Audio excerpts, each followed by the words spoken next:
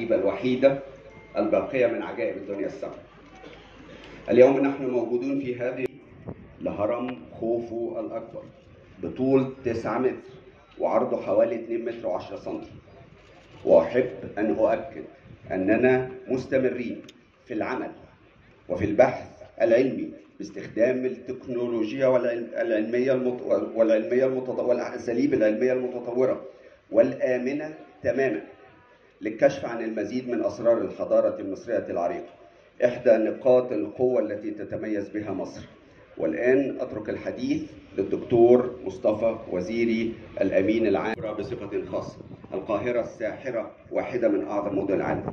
لذا نجتمع اليوم من أمام هذا الصرح للإعلان عن نتائج مشروع استكشافات الأهرامات سكان بيراميدز هذا المشروع البحثي الهام والذي استخدمت فيه التكنولوجيا العلمية المتطورة بالتعاون بين أكبر الجامعات الدولية من فرنسا وألمانيا وكندا واليابان مع مجموعة من الخبراء المصريين من الجامعات المصرية والذين عملوا يدا بيد مع زملائهم من الوزارة والمجلس الأعلى للآثار وتحت إشراف لجنة علمية وأثرية دولية برئاسة الدكتور زي حواس.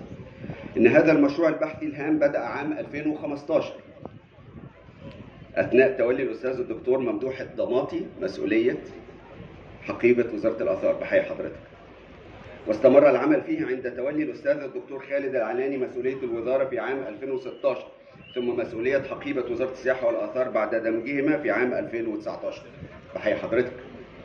حيث قام بتشكيل هذه اللجنة العلمية الدولية من خبراء متخصصين في علوم الآثار والأهرامات برئاسة الدكتور زي حواس. تحياتي لحضرتك. وعضوية كل من الدكتور مارك لينر من الولايات المتحدة الأمريكية والدكتور ميروسلاف بارتا قائمة التراث باليونسكو. فهذا المكان الساحر الذي جذب أنظار العالم إلى مصر على مدار آلاف السنين ولا يزال محط أنظاره حتى أصبح عنصرا مميزا وأساسيا للصورة الذهنية عند الحديث عن مصر أو عن السياحة فيها. فأهرامات الجيزة من أهم وأبرز آثار العالم وزيارتها كانت ولا تظل ولا تظل حلم مئات الملايين حول العالم. إن مصر قد حباها الله بمقومات سياحية هائلة وآثار فريدة ومتنوعة تركها لنا أجدادنا التي ميزت مصر عن سائر دول العالم.